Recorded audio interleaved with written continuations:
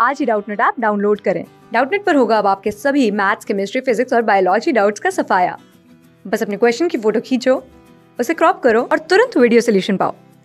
Download now.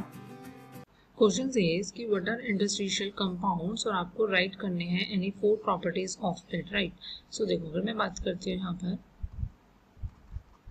Industrial compounds की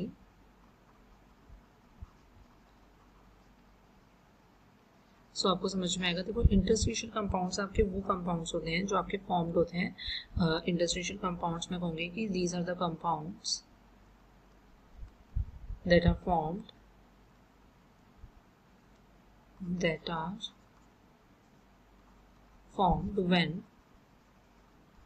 when आपके पास क्या होता है कि वेन एन एटम जिसका एक एटम जिसका क्या है स्मॉल रेड आई है when an atom with small radii आपका क्या कर जाते हैं sits in an interstitial void sits in an interstitial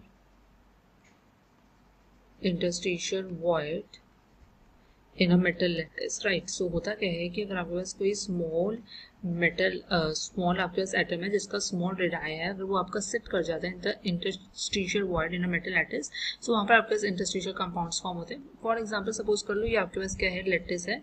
इस टाइप का आपके पास क्या है? लेटिस है। राइट सो यहाँ पर जो आपके पास क्या होती है?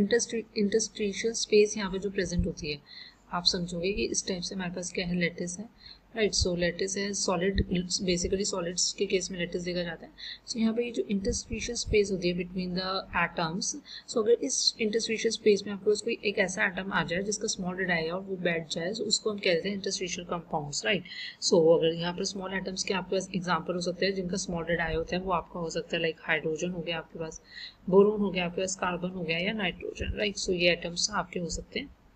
फाइन सो ये होते हैं हमारे पास इंटरस्टिशियल कंपाउंड्स अगर मैं यहाँ पर इनकी प्रॉपर्टीज़ की मैं अगर बात करती हूँ I talk about here now their properties so ये जो कंपाउंड्स होते हैं, जो हमने अभी भी डिस्कस किया that is your interstitial compounds they are very hard ये आपके क्या होते हैं क्योंकि देखो लेटिस जो होता है वो सॉलिड्स में ही एग्जिस्ट करता है सो so वो आपके हार्ड होंगे. प्लस ये आपके क्या होते हैं गुड कंडक्टर्स होते हैं इलेक्ट्रिसिटी के hard and good conductors of heat and electricity right so एक हमारे पास ये प्रॉपर्टी हो सकती है. सेकेंड प्रॉपर्टी हम ये भी कह सकते हैं कि इनकी क्या होती है केमिकल प्रॉपर्टीज़ जो होती है, वो सिमिलर होती है to the parent metal their chemical properties इनकी जो केमिकल प्रॉपर्टीज़ होती हैं chemical properties are similar to their parent atom right जो भी इनका पेरेंट एटम होता है, उनसे इनकी केमिकल प्रॉपर्टीज़ क्या होती है सिमिलर होती है। And now if I talk about its third properties so इनकी जो मेल्टिंग पॉइंट्स होते हैं, इनके जो दे आर मेल्टिंग पॉइंट्स जो होते हैं, ये इनके क्या होते हैं हाई होते हैं। हाई होते हैं किन से? High then the pure metals right so इनके मेल्टिंग पॉइंट्स जो होते हैं, वो ज़्यादा होते हैं then the pure metals and now if I talk about the next properties so इनकी प्रॉपर्टीज़ क्या होती है? पर इनकी जो डेंसिटीज होती है देयर डेंसिटीज जो होती हैं ये आपकी क्या होती है? लेस होती है then the then the parent metal right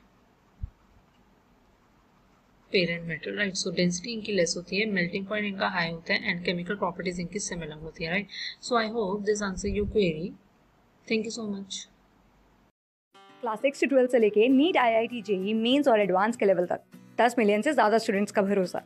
आज ही डाउनलोड करें डाउट नेट आप या व्हाट्सअप कीजिए अपने डाउट्स आठ चार सौ चार सौ चार सौ पर।